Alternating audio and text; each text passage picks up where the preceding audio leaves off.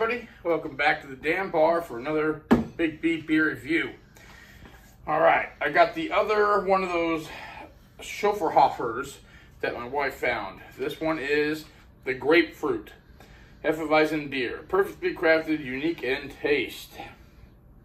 Unfiltered Hefeweizen beer with natural grapefruit flavored drink. Colored with beta carotene. Yummy. Schöfferhofer Grapefruit is a unique combination of sparkling smooth Schöfferhofer unfiltered Hefeweizen beer with natural grapefruit flavored drink. A refreshing, well-rounded taste with tangy character and hints of sweetness. is pleasing to palate. Tastes best ice cold and right from the can. The natural ingredients may form a sediment at the bottom of the can. Okay. Give it a little roll there. And this is 2.5% ABV. So it's definitely a lower ABV beer. Schöfferhofer Grapefruit. So Schöfferhofer Grapefruit is unique, yep, that's already read all that, okay. So it's 50% wheat beer and 50% grapefruit flavored drink. So, perfect brew for a get together, yada yada. Nice. This is part of the Happy Club or something like that with with them. Okay, sticky. I'm gonna clean that off. All right.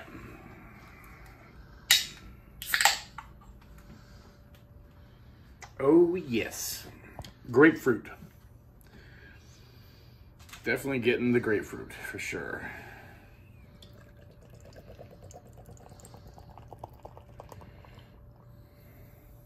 Okay.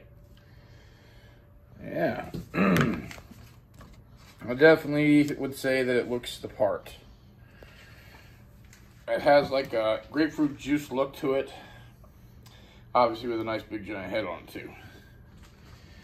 Nice uh, three fingers of foam there. Pretty dense, dry. I don't know. The top looks kind of wet. It's a little dark in the damn bar today. Uh, hazy is all about. Yeah, definitely a hazy beer. That's actually a pretty looking brew, you know. It's looking like like grapefruit juice. Definitely. Color wise, it's pretty darker. I'd say about five, maybe about a five on the SRM. Not bad, not bad at all. All right. Okay. Grapefruit. It smells just like grapefruit. No doubt about it. It's nice looking. Good nip of the head. Grapefruit and sugar.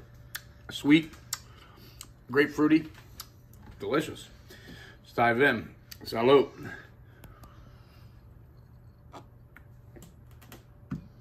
Mm.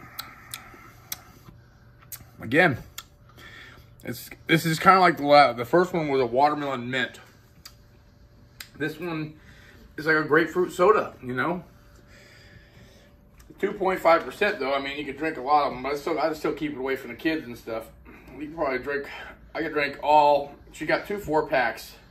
They're BOGO, so I could probably drink all of them, uh, you know, in one day and not even know that I, you know, had anything. That ain't bad though. Nice and sweet. This one's I think a little bit more sweeter than the last, but it's still very you know it's delicious. It's definitely delicious. I just don't like. I personally don't always. I don't usually get uh, low ABV beers myself, but I'm glad I can say I tried it. You know, um, food wise, you know. Uh, hmm.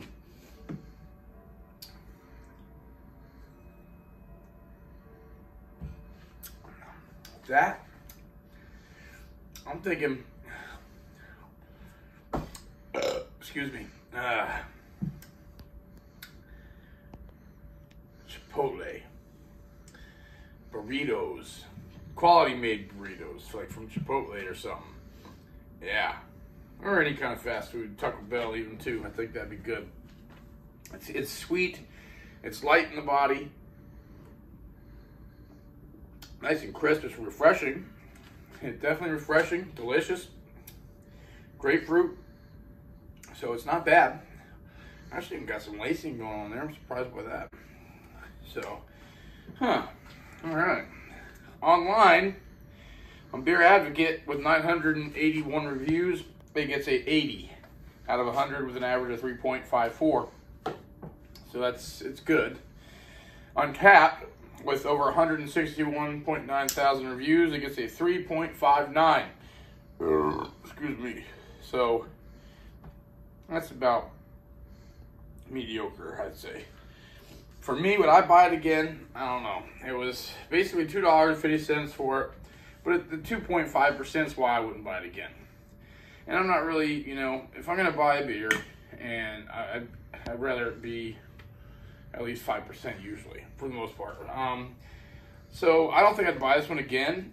I mean, but it is delicious. I mean, it definitely is a delicious, you know, beverage here.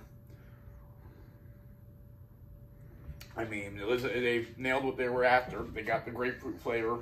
Um, I just wish it could be stronger, but so I think it will uh, ring the memory bell. I'll probably remember that when I think of a grapefruit beer. I'll be thinking of that one, but uh, I don't think I'm gonna have cravings for it or anything. So, Big B beer review grade. Uh, I think I'm gonna give this one a B minus.